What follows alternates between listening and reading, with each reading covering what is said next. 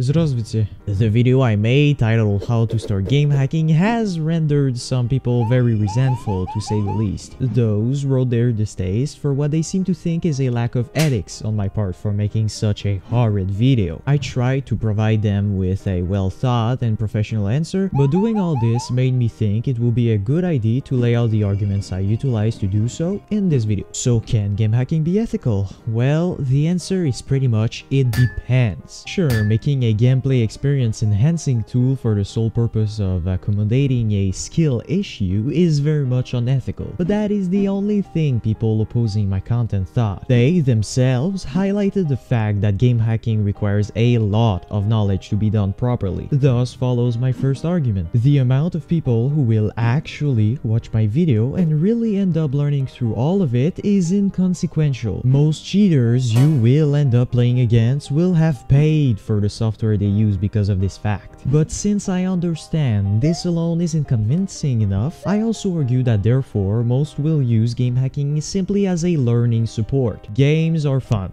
and so is reversing them. Because of that, I think game hacking can and is used by a lot of people for the sole purpose of learning these disciplines. I did mistakenly told some that you could learn it without exactly affecting multiplayer, and I got some backlash from this statement because they counter-argued that in my video I discussed networking. But what they overlooked is that I did not mean not using multiplayer games. My point was instead that well yes, you will still perform game hacking on multiplayer, you can and should do it without ruining the experience of others since most games first off allow private servers and second of even if you confront other players using your creation, you can do it responsibly. That is, do your testing and reversing and then leave them alone. You don't have to start embodying everyone around you constantly. Those who will are immature and unlikely to really have learned the domain as if they did, they would not have time to waste doing these idiocies. And this loops back to my first argument. I might have made game hacking look easy, but that's because I did not discuss anti-cheats. Sure, some anti-cheats are orally useless like VAC, but others are a real challenge to bypass. Some will tell you otherwise, but that's because they probably have not done it themselves. Now I don't think there's anything more to add, I pretty much explained very well why game hacking can be done ethically and